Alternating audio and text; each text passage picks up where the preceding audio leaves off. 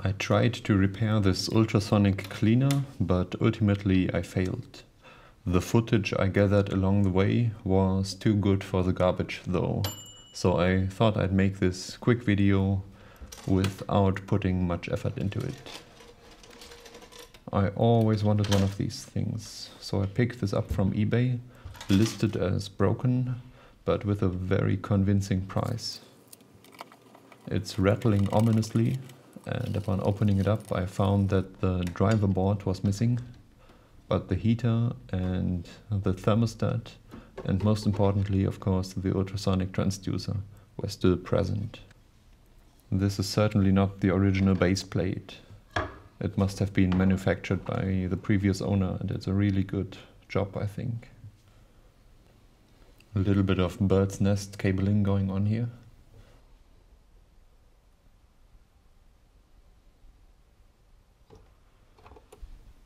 To start things off, I ordered an ultrasonic cleaning set from China, consisting of a 100 watts 40 kilohertz driver board and a 50 watts 40 kilohertz ultrasonic transducer. And there's a first question for you. Can we use the 40 kilohertz driver board with the 35 kilohertz transducer that is in the device right now? I don't know. I don't even know how any of this works. Let's try, I guess. Setting up my power meter to observe whether or not the 100 watts power rating of the driver board is heated.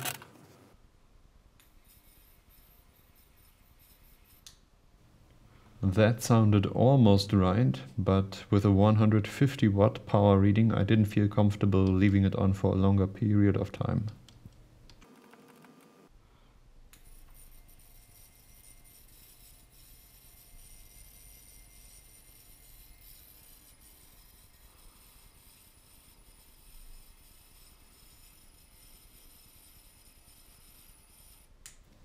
This time the power consumption went up to a maximum of 180 watts, so I think there's something going wrong. I'm now using alligator clips to connect the new transducer that was supplied with the driver board, and I'm about to let it run dryly. That's a set of two very bad ideas. Letting it run dryly for a couple of seconds might be okay, but using alligator clips to connect the transducer to the driver board has left some cracks in those terminal leaves. That's why I must strongly advise to not test your transducer with alligator clips. The system is underloaded of course, but that high frequency hissing sounds much more like a healthy ultrasonic cleaner than with the other transducer.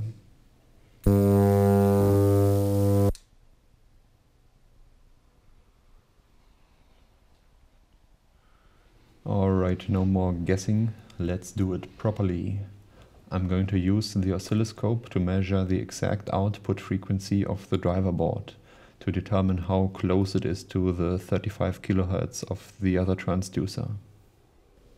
With a 100 ohm load resistor, I'm getting this untriggerable mess.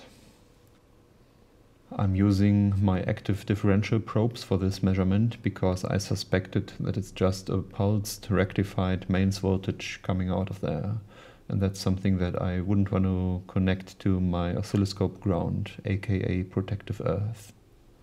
Later, when I do the reverse engineering though, I find out that it's actually fully isolated, so no worries. With the actual transducer instead, I'm getting this shapely signal, the frequency of which I sadly don't remember, but I remember that it was closer to 35 kHz than it was to 40 kHz, which is great for my application.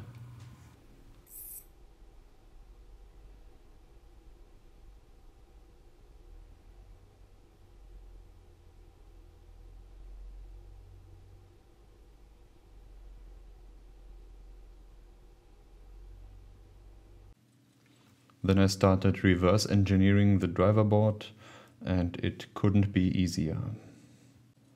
Although I've got to admit I'm not quite sure about those output transformers or inductors. You never know how those are connected internally. Anyway, in the top left hand corner they are rectifying mains voltage and I double or triple checked those two caps. They are absolutely not between plus and minus as one would expect. In this section they are creating a so-called virtual ground. And this is a basic push-pull circuit to drive the L2 transformer.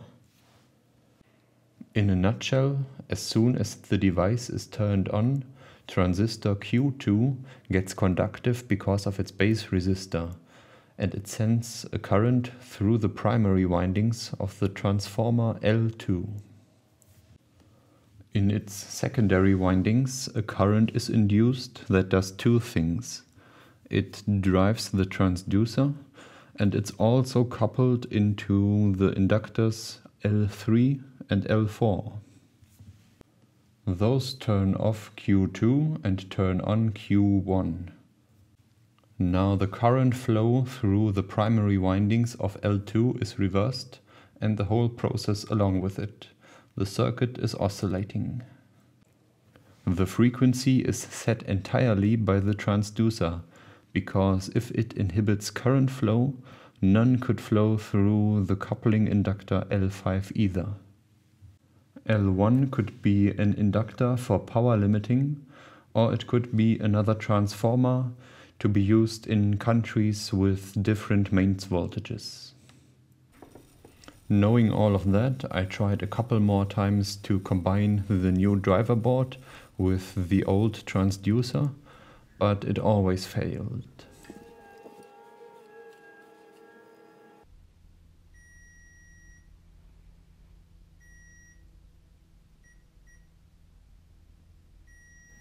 Finding the reason for that was easy, but a solution? No such luck. The wires are riveted to the transducer because solder joints are easily coming apart in an environment with a lot of vibrations. Using the flimsiest power tool the world has ever seen, I didn't get them out. Using the next size power tool I had, a full-sized hand drill, I destroyed the terminals of course. And that got me really frustrated. I didn't even feel like filming anything. Then I decided to just remove the old transducer. Piezoelectric element.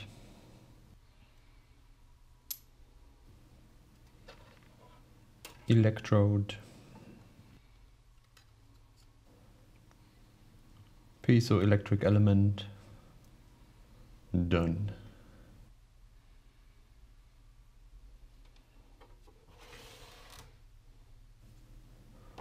I am not sure if these are supposed to look like that. Might as well be water damage, corrosion that influences the performance of the transducer.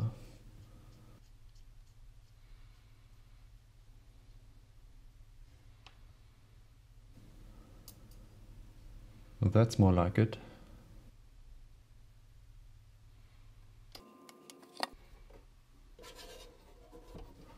This bottom piece seems to be at least glued in and it's certainly not coming out anytime soon.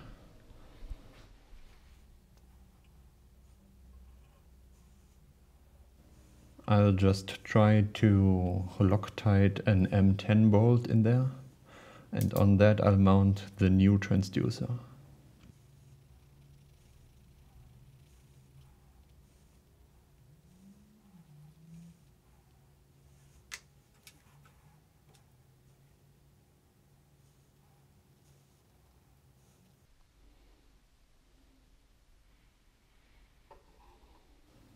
As I already declared in the title of this video, this approach wasn't successful either. The driver board was drawing too much power and getting hot. Maybe I added too much weight to the transducer by leaving the old base in. But I just ditched the whole project. Couldn't be bothered to spend any more time on this. These are not the most expensive things in the world, and I will surely be able to afford a new one someday.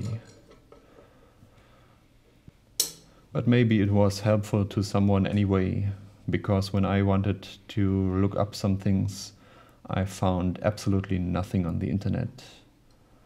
Let me know if so. Thanks for watching. See you soon.